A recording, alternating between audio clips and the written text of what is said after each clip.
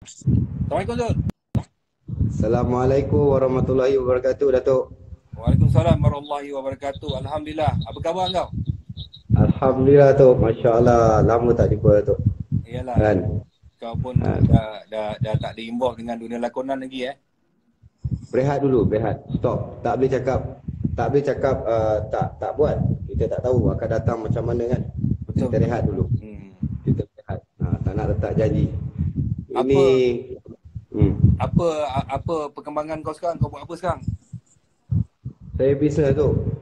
Oh ya. Datuk adalah saya punya mentor Ha, dalam kau- dunia kau dunia walaupun saya dengan Datuk tak berapa macam bukanlah tak berapa ni kita bukan apa gerak sama kan jarang-jarang hmm. dan dulu pun banyak teguran-teguran nasihat daripada Datuk dan apa yang Datuk miliki hari ini insyaallah menjadi saya punya semangat Saya saya, saya doakan Zul uh, dalam dalam hidup ni kadang-kadang kita kena kita kena me- merancang merancang apa yang kita nak tapi kita kena usaha untuk dapat. Jadi kalau awak dah start berniaga tu saya tak kisah berniaga tu kecil ke besar bagi saya itu tetap perniagaan kak. Saya selalu, selalu cakap dengan orang kalau kita berniaga kecil pun tapi kita jangan cakap dengan orang ah saya berniaga aku berniaga kecil je jangan. Kita cakap kalau orang tanya dengan kita dia cakap okey kau buat apa sekarang? Aku businessman. So kita kena proud dengan apa yang kita buat walaupun dia kecil uh, tapi sebenarnya benda tu sebenarnya uh, memberi inspirasi semangat kepada secara psikologi kepada kita. Dan Betul, kita betul. macam selalu saya cakap uh, firman Allah dalam Al-Quran mintalah apa saja aku akan bagi tapi bagaimana kita uh, uh, berusaha dan berdoa untuk dapat apa yang kita nak. Saya doakan awak uh, saya rasa berniaga ni Zul kita bukan hanya kita punya doa, kawan-kawan punya doa, orang sekeliling kita punya doa uh, dan dia dia dia insyaallah doa tu berkat. Dan kau berniaga apa sekarang Zul? Alhamdulillah saya ada uh, restoran steamboat Kat mana? uh, di Ipoh. Saya dah hijrah ke Ipoh balik rumah mak saya, duduk dekat mak saya. Hmm. Hampir uh, setahun lebih lah kat Ipoh. Pindah sini. Dulu kat Shah Alam. Okey kalau kalau mungkin kat, kat Ipoh orang mesti tanya kan kau berniaga kat mana? Kau- Ada kalau kawan yang dalam tengah tengok tengah tengah tengok live ni nak datang ke kat mana kau berniaga? Alhamdulillah. Uh, restoran saya dekat Meru ni ramai yang dah tahu. Alhamdulillah Oh, bisnes Meru, Meru Raya Ipoh. Uh, dekat Maps tu. Uh, Alhamdulillah ramai yang dah tahu dan orang kata apa Alhamdulillah lah macam Datuk cakap tadi lah. Bisnes ni satu pekerjaan ataupun satu usaha yang mendapat doa dan juga perkongsian. Bila kita berniaga baru saya dah tahu.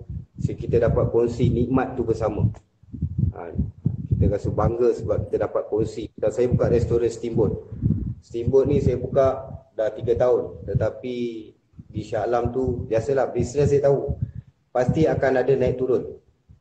Ha, first doubt ha, bila saya pindah ke Ipoh alhamdulillah dapat sokongan sebab yalah walaupun bukan artis masa artis dah sedu tetapi duduk dalam dalam landasan tu orang kenal tiket publicity tu ada juga jadi bila datang ke Ipoh buka restoran jadi satu benda yang barulah bagi orang sini Tapi Zul, sebenarnya Zul lah bila bila kita start berniaga ni Zul, tak semesti kita berjaya Zul.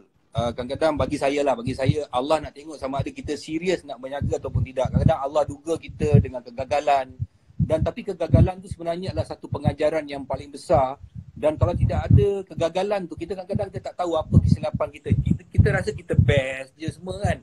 Tapi sebenarnya uh, kadang-kadang kita kita tak nampak apa kesilapan kita.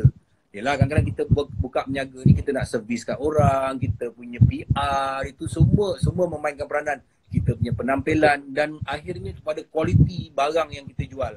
Adakah ianya berkualiti dari segi kita punya layanan dia, kualiti segi makanan kita dan akhirnya uh, orang akan datang balik kat kita bagi saya adalah kualiti tu kan. Kualiti Service. selalu saya saya selalu cakap pada kawan-kawan siapa-siapa lah yang kadang-kadang saya bagi-bagi talk dengan orang uh, kalau kita nak berniaga ni kita uh, rahsia rahsia kejayaan orang Islam ni dalam perniagaan ialah bagaimana kita menggunakan sistem uh, kewangan Allah Subhanahu Wa Taala. Jadi sistem kewangan Allah Subhanahu Wa Taala itu ialah ZAKAT zakat. Betul Uh, firman Allah Betul. dalam Al-Quran bayarlah zakat tidak akan terluar walaupun sedikit pada harta engkau malah aku tambah-tambahkan lagi. Bayarlah zakat ibarat uh, aku akan sucikan jiwa engkau, aku akan sucikan harta engkau. Jadi perniagaan kita tu harta. Abang bukanlah nak nak nak, nak mengajar ke apa tapi abang cuba kongsi lah Kongsi yang baik. Ha, betul. Tapi siapa-siapa yang tengah tengok kita live ni lah kan. Yalah, saya tengok perjalanan Datuk. Perjalanan Datuk daripada Datuk bukannya target pun. Tak ada pun. Saya bagi saya Datuk pun tak ada. Cuma Datuk ada target untuk duduk dalam satu stage yang selesa. Kan? Tapi tak ada target pun. Ada apa res, res, apa ST Rosham, ada your own product, your brand, your brands kan.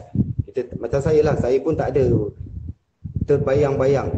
Ha, kan? Cuma kita tahu ah one day kita nak duduk sukses walaupun kita cebur satu bis, bisnes macam saya ni saya dapat tahun alhamdulillah dalam bisnes betul-betul bagi masa lah dekat meniaga. Di dalam 4 tahun tu alhamdulillah banyak saya belajar lah.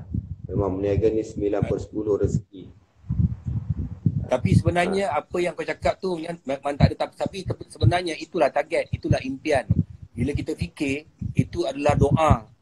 Uh, itulah doa dan cita-cita kita. Uh, bila impian, angan-angan dan cita-cita adalah doa. Jadi Allah tahu terdetik kat hati kita. Tapi insyaAllah abang doakan kau. Semoga terus sukses. InsyaAllah kalau abang sampai Meru, aku akan cari kau punya restoran. Apa nama restoran kau? Zoyaya Steamboat. Okey, nanti abang cari kat. Meru. Abang tu hari ada syuting kat Meru dulu. Kan? Tapi aku tak Ramai- tahu kalau ramai buka kau- restoran kat situ. Ramai dah kawan-kawan artis yang datang singgah. Kita pun kat sini saya bawa konsep Islamik. Ha, saya bawa konsep Islamik bila bawa memang betul lah. Kita bawa blendkan bisnes kita, kehidupan kita, life kita dengan agama. Allah hadirkan dunia dalam kehidupan kita. Walau Ya, bukanlah saya kata tapi memudahkan urusan kehidupan. Ini yang saya alami lah. Kena percaya kat situ sebab apa? Ada empat perkara yang tak boleh kita elak dalam kehidupan kita. Hidup, mati, rezeki, jodoh pertemuan. Jadi maknanya rezeki tu datang daripada Allah Subhanahu Wa Taala. Jadi maknanya kita kena minta dengan dia juga. Kalau kau minta dengan abang, kau minta dengan siapa-siapa kawan-kawan, dia tak boleh bagi.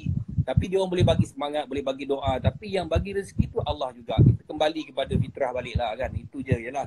Kita pun banyak terlalai apa Zul kan. Kita banyak terlalai dalam kehidupan kita. Di ujung-ujung ni kita cuba cari benda yang tu kan. Tak kira siapa kita pun. Akhirnya kita akan kembali kepada Allah Subhanahu Wa Taala. Tapi apakah bekalan kita adakah cukup untuk tidak itu kita tak tahu tapi kita cuba cari sebanyak mana yang mungkin insyaallah InsyaAllah. Bang. Terima kasih Datuk banyak-banyak ah, ni banyak bagi nasihat kan. Dan untuk saya, Datuk juga. saya, saya, saya bukan Zul saya bukan bagi nasihat Zul. Saya kongsi saja. Uh, saya bukan pakar sangat dalam penjagaan ni. Tapi saya kongsi dengan awak dengan apa yang orang yang tengah tengok live kita ni pun uh, semua nampak okey semua. Dan jadi kita kongsi-kongsi je. Dah duduk kat rumah ni Zul. Dah kena kurung PKP apa lagi nak buat? Semua orang buat live aku pun dulu tak adalah buat-buat live ni kan. Saya pun baru belajar benda ni. Aku pun baru tinggal 3-4 hari ni belajar Zul. Tapi okey lah kan? Okey lah boleh lah kejap-kejap. Tadi aku line dengan Mamat Khalid. Lepas tu line asyik putus-putus je. Aku pun dah pening. Tadi aku pergi buka wire-wire wifi kat rumah aku. Aku pasang balik dah orang rumah aku mengamuk dengan aku. Dia tengah tengok cerita Korea apa benda Cerita apa benda. Dia mengamuk aku. You tutup wifi ke? Yalah aku off kejap. Lepas aku cari balik. Ni aku nak test ni ni. Besok aku nak line dengan Mak Adam Aku takut jadi macam tadi Kejap putus, kejap masuk, kejap putus Tapi aku tengok dengan kau ni okey pula kan Alhamdulillah lah Alhamdulillah. Alhamdulillah. Allah permudahkan dah lama tak bertemu. Bertemu pun kerana Allah. Yelah Bertemu aku, ni aku saya live, kita aku kerana live dengan orang hebat kan Jadi orang hebat ni dia ada line ada lah ah, ada. Kita tak ada apa-apa Datuk. Kan? Sama lah kita, ni bukan bukan siapa-siapa dan tak ada apa-apa. Apa yang saya belajar hari ni kita hari ni bergantung segala-galanya walaupun kebaikan kita bergantung kepada Allah SWT. Dulu saya bergantung kepada makhluk. Contohnya saya duduk dalam bidang dulu aktif dalam bidang lakonan. Kalau tak ada job saya frust. Sebab apa saya bergantung hati saya pada makhluk. Makhluk yang akan bagi saya rezeki. Makhluk yang akan bagi saya peluang. Saya bergantung kepada itu. Saya tak bergantung kepada yang memberi peluang, memberi kebaikan kepada semua. Betul tu betul Jadi ni, bila saya, yelah masa dah bila saya berehat. Ha, orang tanya kenapa saya tak berlakon lagi? Biar saya rehat. Saya fokus meniaga dan saya rasa kehidupan saya ni bukan nak meninggalkan dunia tapi untuk membawa dunia yang lebih baik kepada agama. Okey aku aku aku agree dengan tu Zul sebab kadang-kadang ada kawan-kawan kita dia kata oh saya tak nak berlakon lagi dah saya nak tumpukan ke sini kan tapi macam kau kau cakap kau tak tinggalkan kita tak tahu rezeki Allah nak bagi besok-besok lusa kita kau berlakon balik kita tak tahu rezeki tu luas bagi Allah kan Kan jadi jadi itu aku pujilah. Kadang-kadang ada kawan-kawan tu dia, dia dah berhijrah ke dia buat benda lain ke menyaga ke dia, dia kata oh saya tak nak berlakon lagi. Lepas tu comeback balik kan. Ha, jadi macamlah hina sangat apa yang kita buat ni kan. Tak. Tak ada rezeki ni bagi aku apa pun tetap rezeki yang kita buat dengan niat yang betul. Itu saja betul tak? Dan rezeki yang paling baik Datuk. Yang ini percakapan dan doa daripada setiap manusia yang kita jumpa. Macam saya dapat daripada Datuk. Inilah rezeki yang paling baik. Dan kalau saya sama. ada rezeki yang begini, yang Allah bagi fikir yang baik, kan, hati yang baik dan masa, macam sekarang ni masa untuk menyucikan hati. Kan, nak dapatkan perkara yang baik, nak isi air yang jernih dan bersih, perlu ada bekas yang bersih juga. Dan Allah bagi hari ni pula, bagi saya faham, cuci hati untuk dapat lagi kebaikan-kebaikan dan dapat kongsikan kebaikan ni. Kalau saya tinggalkan rakan-rakan hati saya dulu, saya tinggalkan rakan-rakan ni, so kebaikan rezeki yang Allah hadirkan dalam kehidupan saya, saya tak dapat nak kongsi dengan mereka. Mana saya yang rugi. Macam abang, eh, macam Datuk bagi hari ni kan, ah, ah, saya dapat keuntungan tu. Itu rezeki. Nasihat, semangat untuk sama-sama berjaya. Bukan kata kita nak berjaya ni, nak dapatkan ni, tapi berjaya dunia dan akhirat. Amin, amin, ya Rabbal Alamin. Amin amin. Okey Zul, terima kasih banyak Zul. InsyaAllah nanti kita jumpa lagi. Ha? Ya, terima kasih Itulah. banyak. Terima kasih banyak. Alhamdulillah. Jaga diri. InsyaAllah. Baik, baik, baik. Doakan saya Kalau juga. ada Ya. ada ni, bolehlah dapat berlakon satu scene, dua scene dengan Datuk insyaAllah. Boleh insyaAllah. InsyaAllah. InsyaAllah. Okey Zul. Okey, Assalamualaikum. Allah memudahkan urusan, Allah pelihara kita daripada kejahatan dan keburukan. Amin, amin. Assalamualaikum warahmatullahi wabarakatuh. Waalaikumsalam warahmatullahi wabarakatuh. Okey, uh, yang tu uh, tadi saya live uh, tak, tak tak sangka Zul Yahya lama tak tak jumpa dia uh, uh, live dengan saya. Tiba-tiba dia ada dekat dalam ni saya pun tiba-tiba tengok eh ada Zul Yahya. Tapi itulah uh, semua sahabat-sahabat kat dalam ni sebenarnya uh, rahsia rahsia perniagaan bagi saya lah ya. Uh, dalam perniagaan itulah bagaimana kita menggunakan sistem kewangan Allah Subhanahu Wa Taala iaitu ZAKAT zakat. Zakat ni uh, sebenarnya ada banyak uh, hikmah dia.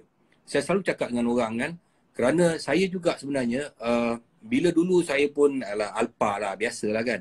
Tapi bila ada kejadian yang berlaku dalam kehidupan saya bila satu hari tu ialah saya datang kepada orang susah. Lepas tu bila Allah bagi kelebihan sikit pada saya dan ada satu ketika saya nak cerita sikit ni saya uh, saya dapat kononnya dapat berlakon dengan satu filem Hollywood dan saya berangan untuk dapat duit yang banyak. Jadi saya tertumpu sangat fikir pasal tu sampaikan sampaikan ketika tu saya terlupa bayar zakat fitrah saya. Dan apabila saya terlupa zakat bayar zakat fitrah saya dan saya tak dapat berlakon dalam filem tu. Itu itu pada pandangan saya lah. Dan satu hari bila saya pergi sembahyang Jumaat, lepas tu saya tengok satu meja tu punya meja amil, saya jadi menggigil kerana saya terlupa bayar zakat fitrah saya. Tapi sejak pada itu itulah hikmah yang paling besar berlaku pada pada diri saya. Kemudian saya start lah. Tak banyak sikit saya cubalah bayar zakat, sedekah apa semua. Tiba-tiba kehidupan saya ber- bertukar. Perniagaan saya nama saya Roshamno daripada tak ada apa-apa uh, tiba-tiba uh, saya nama saya meningkat naik. Sebab tu firman Allah dalam Al-Quran bayarlah zakat tidak akan terluak walaupun sedikit pada harta engkau. Dan firman Allah dalam Al-Quran lagi bayarlah zakat. Ibarat mencampak sebiji benih tumbuh sepohon pokok ada tujuh cabang pada setiap pokok uh, dan ada seratus biji buah uh, pada setiap cabang. Ibaratnya uh, kita bagi satu Allah bagi tujuh ratus kali ganda. Dan firman Allah dalam Al-Quran lagi uh, Allah Allah firman bayarlah zakat aku akan sucikan jiwa engkau aku akan sucikan harta engkau. Jadi tuan-tuan ni semua orang yang dengar tengah dengar aku ni nak berjaya dalam hidup tak kisahlah berniaga ke apa tak banyak sikit uh, kita gunakanlah sistem kewangan Allah Subhanahu Wa Taala ini uh, supaya kita berjaya dalam kehidupan kita